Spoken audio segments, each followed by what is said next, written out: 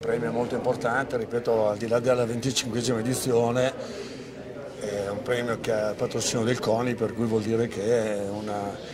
un riconoscimento importante e credo, mi auguro, spero che durerà ancora per prossimi, almeno per i prossimi 25 anni, per cui sono contento di essere qua anche perché è un'occasione di aver incontrato un po' di amici eh, con i quali abbiamo condiviso un po' delle vicende sportive anche se in discipline diverse. Penso che è una serata bellissima, una premiazione stupenda, non pensavo di poter eh, vincere un premio così importante perché non è che dipende soltanto da come hai giocato ma da come ti sei comportato in campo. Penso di essere stato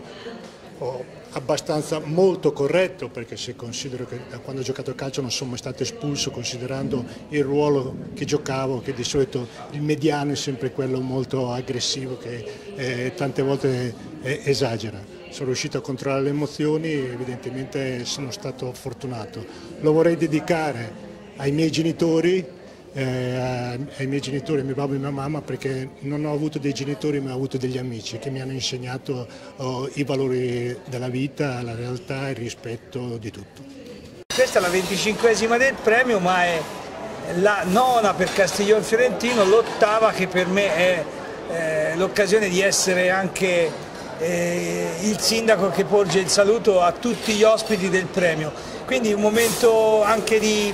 non dico di, di bilanci perché 25 anni è una tappa intermedia, però è una, veramente una, un grande traguardo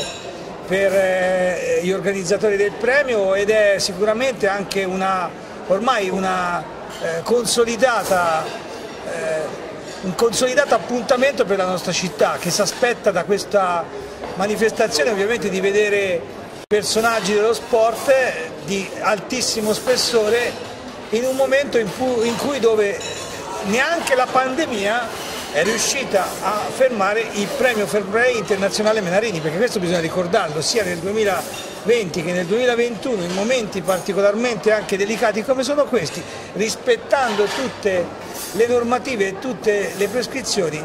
il premio Fair Play Menarini si svolge a Castiglione Fiorentino, credo anche con il solito entusiasmo, anzi con un messaggio ancora più forte che nonostante tutto vede la partecipazione di tutti questi personaggi.